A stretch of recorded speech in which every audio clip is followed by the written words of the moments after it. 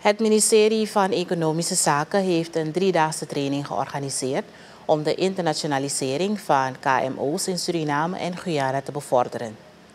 25 deelnemers ontvingen hun certificaat op 6 september na het afronden van de training gericht op exportmogelijkheden en toegang tot financiering. Onderdirecteur Sarita Vien Jageswar benadrukte dat de KMO's cruciaal zijn voor de economie en dat internationalisering nieuwe kansen en uitdagingen biedt. De deelnemers zijn voorbereid om bedrijven te begeleiden bij het betreden van internationale markten. Een derde verdachte CS is op 5 september gearresteerd door de afdeling fraude in verband met een spraakmakende pinpasfraudezaak.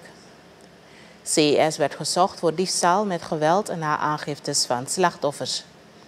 Eerder werden al twee andere verdachten, AT en PA, op 25 augustus 2024 gearresteerd.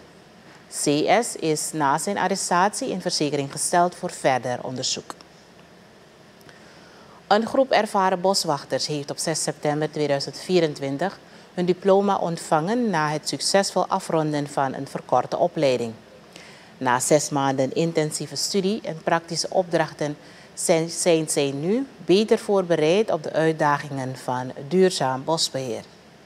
De opleiding was een samenwerking tussen de Stichting voor Bosbeheer en Bostoezicht, het Jan Starke Opleidings- en Ontspanningscentrum, het NATIN en docenten. De boswachters werden gefeliciteerd voor hun inzet en doorzettingsvermogen.